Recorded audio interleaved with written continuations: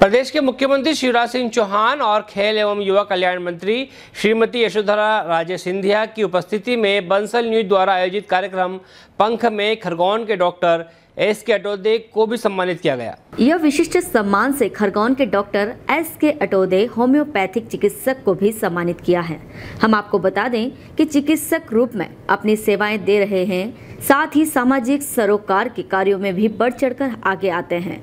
इसी कड़ी में उन्होंने मध्य प्रदेश की युवा खिलाड़ी लक्ष्मी देवड़ा कराटे के पंख बनाने का बेड़ा उठाया है।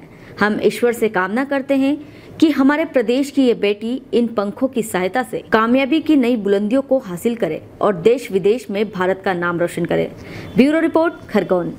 मैं डॉक्टर खरगोन से संपूर्ण संचालक। मैं डॉक्टर हूँ। और मैंने लक्ष्मी देवड़ा जी को स्पॉन्सर किया है।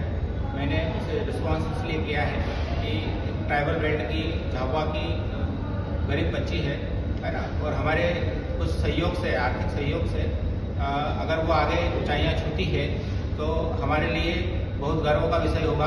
और बंसल न्यूज़ ने बहुत ही अच्छा सराहनीय कदम उठाया है। और कहीं न कहीं खेलों को बहुत ही बुलंदियों तक ऊंचाइयों तक लेके जाए। ये बंसल न्यूज़ का प्रयास भी रहेगा और कहीं ना कहीं हम लोगों ने उस चीज़ को रिस्पॉन्स किया है। तो वाकई में इन लोगों का बहुत सराहनीय रहेगा। और मैं चाहूँगा कि मेरे बच्चे जिसको हम लोग थोड़ा भी आर्थिक सहयोग दे रहे हैं, वो पूरे मध्य प्रदेश में और पूरे भारत में एक खेल को लेके ओलंपियाड और इस तरीके का जो गोल्ड मेडल है वो लेकर आए। ये हमारी भावनाएँ रहेगी। और खेल के साथ में एक होम्योपैथ। अगर आप होम्योपैथ अपनाते हैं तो आप अपनी इम्यूनिटी पावर को बूस्ट करते हैं। और होम्योपैथी में एक से एक ऐसी दवाइयाँ हैं, जिससे आप अपना स्टेमिना बढ़ा सकते हैं। है ना? हड्डियाँ मज़बूत करने के लिए आयरन जैसे सब चीज़ें हैं। मध्य प्रदेश एक ट्राइबल क्षेत्र है।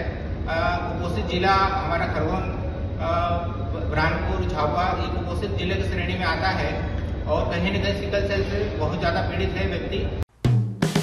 हेलो फ्रेंड्स आप देख रहे हैं हमारा channel S W twenty four news हमारे सारे वीडियो सबसे पहले देखने के लिए आप हमारे चैनल को सब्सक्राइब करें और पास में लगे बेल आइकोन को दबाना बिल्कुल भी ना भूलें।